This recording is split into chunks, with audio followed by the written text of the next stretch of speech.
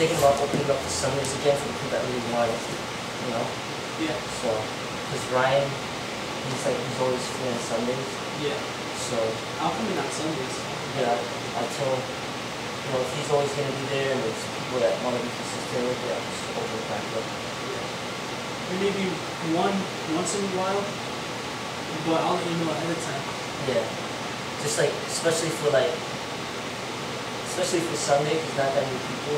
Right. You can't make it, just let me know.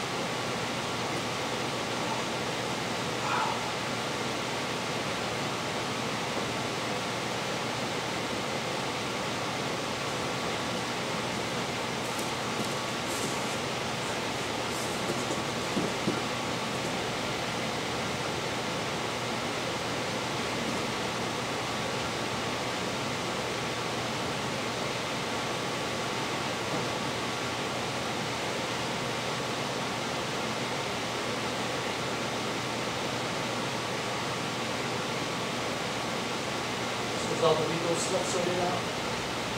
Um, it's getting there, but I got four out of four. We'll see we'll see what what's gonna happen.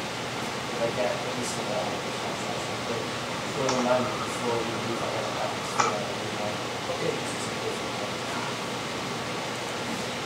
But at least today, I got certified in CPR, Okay. so at least I got that out of the way. Yeah. You just gotta go for your fines and stuff?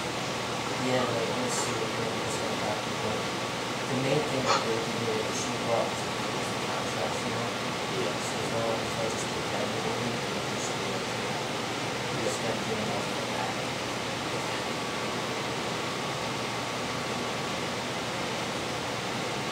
Last two years I was in out of court. Um, I got sued. oh, was is uh, six years ago. I hit a paddy wagon and I had insurance.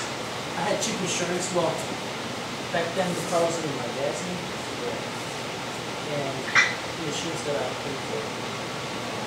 And so I was fighting legal battles with the insurance company for two years, three years. It was two years, and then the judge that was appointed got promoted to some state judge.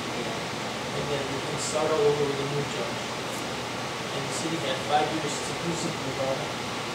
I would have been up the but last year,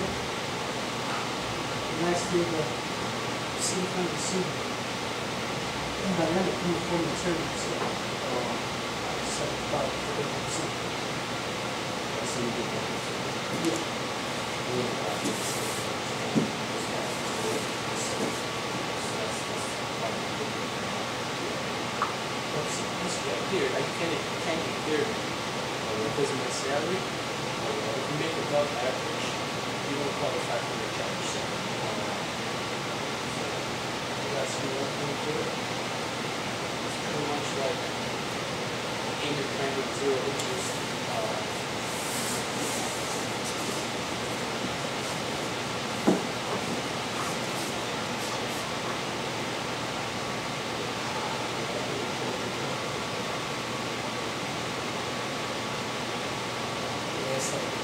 Yeah, it's